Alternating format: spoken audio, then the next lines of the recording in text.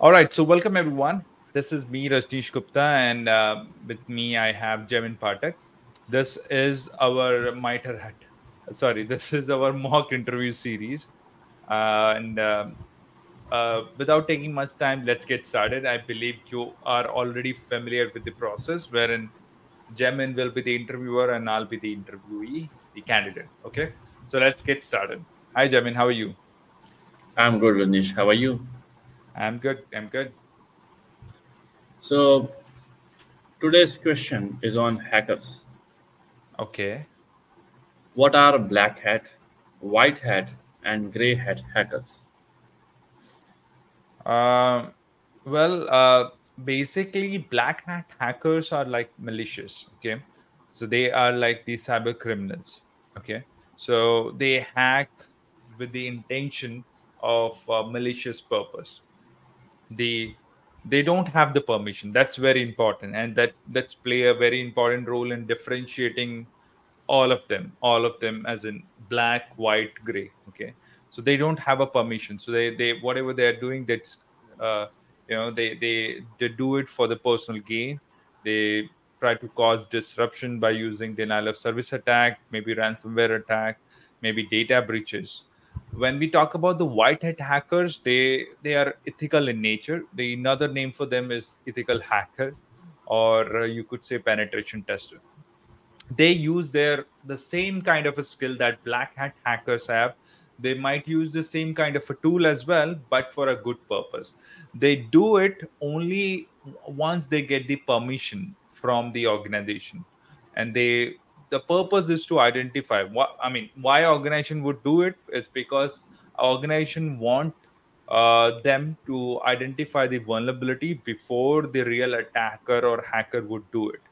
Uh, there are uh, different platforms available like uh, you know there are different uh, you know a platform like uh, HackerOne which is a bug bounty platform uh, which help us to which help the organization to connect with hackers as well who who find the vulnerability and report it to them.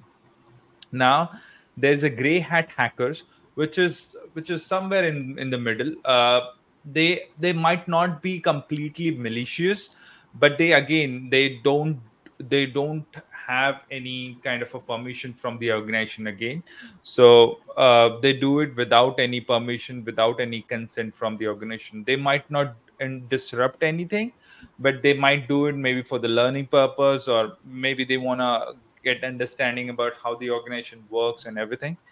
Uh, so that that's basically the difference uh, between black hat and uh, white hat and gray hat hackers. So Great, great. Yeah. So, out of them, which one is legal? uh, well, I mean, so when we talk about the legal or illegal stuff, it's all depends on if we have uh, agreement uh, you know between parties or uh, maybe in a in a in a, a very casual way if i would say it's permission or consent so out of all three only white hat white hat hackers uh, have permissions okay? Because they are ethical hackers or they can be a penetration tester like an employee.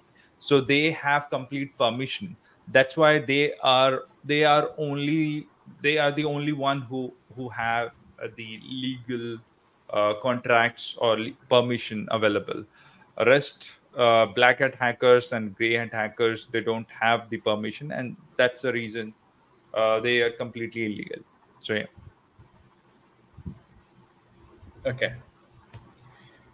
Then, how can we identify potential black hat hackers?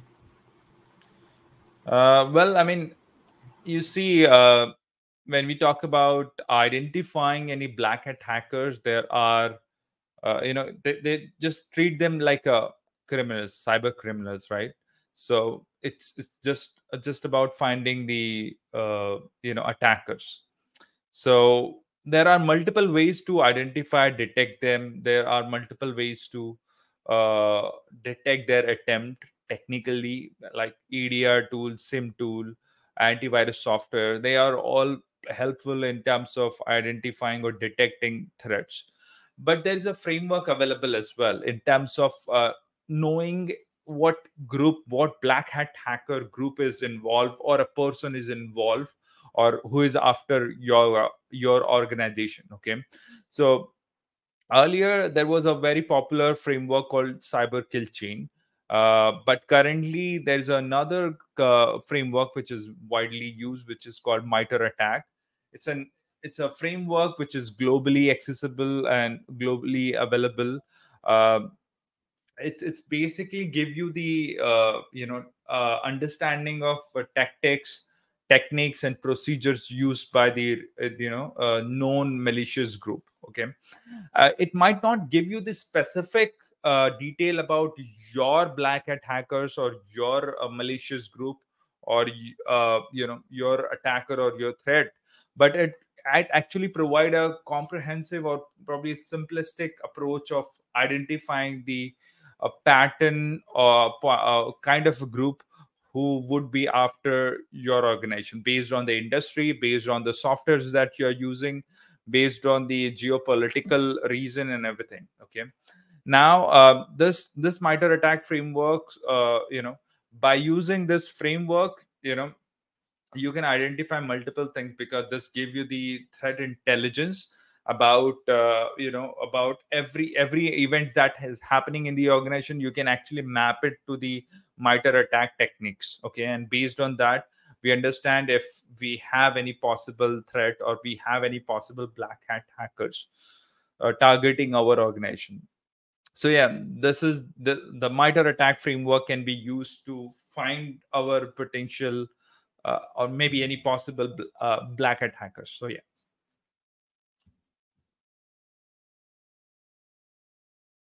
Okay. So yeah, this is all I have for today's question about hackers. All right. So uh, thank you so much, Jamin. Thank you so much for having me here. So now it's You're time for the detail. Yeah. So yeah. So now it's time for the detail. Uh, you know, explanation. I'll, I'll as a part of detailed explanation, I'll just give you an idea about uh, MITRE ATT&CK framework and you know how does it look like. All right. So I just shared my screen. You can see this is the official website of MITRE ATT&CK framework. The website name is attack.mitre.org. Okay. Now you can see on the bottom, uh, this is MITRE Corporation. This has been managed by the MITRE Corporation, and Attack is basically their framework. Uh, basically, there are multiple matrices for enterprise, for mobile, for ICS as well. We'll be looking at the enterprise.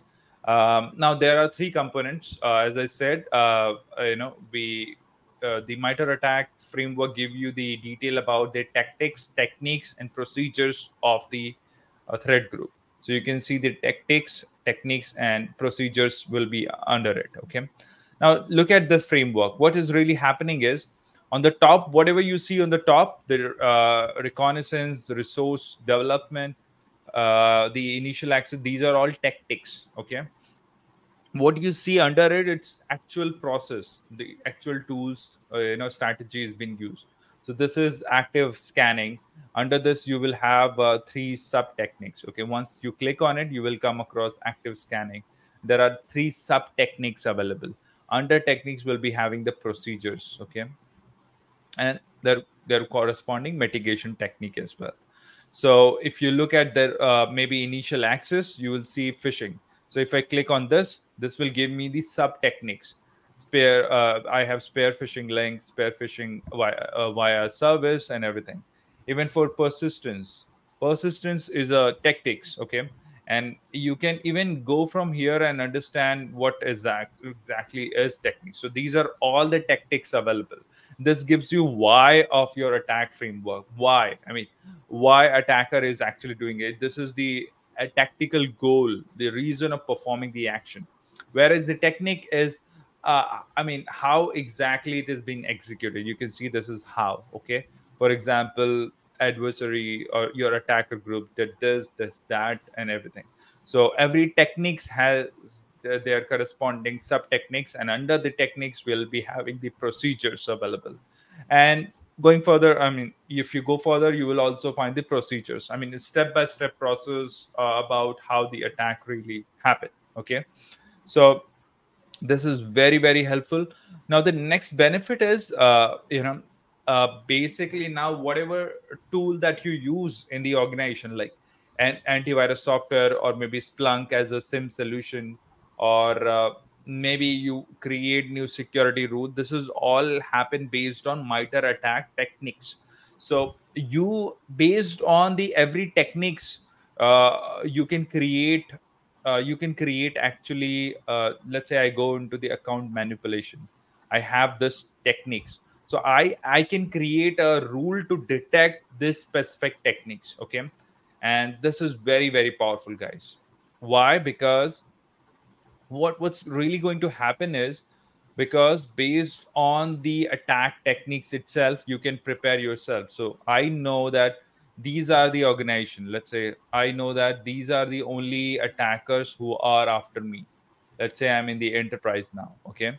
So i know that these are the only attacks that, or organization that might be after me and are trying to attack into the network. So let's say if uh, you know if i go into groups go to the cti which is threat intelligence i can go to the groups.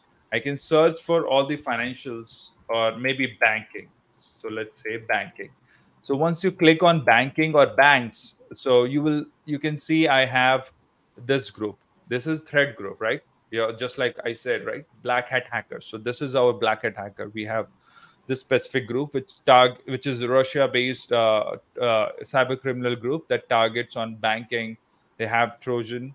Uh, next let's look at the another kind of a threat which is uh, rtm which was uh, which is active since 2015 which again target which is again russian ba- russia based and target the banking industry. Then we have a whisper spider that's that targets uh, banking again and they are financially motivated threat actor uh, this group was first seen in 2016 the main targets resides in russia okay Russia, Ukraine, Belarus, uh, then Poland, and many other. Okay, so yeah, so that's how now you understand these are the only attacker group which I should be afraid about. These are like, uh, if I'm into banking, uh, I should be worried about these three groups, and that's how you prepare your threat intelligence. Okay, these this is how we identify our black hat hackers. All right, so uh, I hope this was useful. If you want to know in uh, in detail about MITRE ATT&CK framework, I'll uh, there's a very detailed video I have prepared, very popular video. You can find that in the uh, in my uh, uh, on my YouTube channel as well, or I'll also add the link in the description as well. So, all right, this is me, Rajneesh Gupta, and with with jamin Pathak. Thank you so much for having us.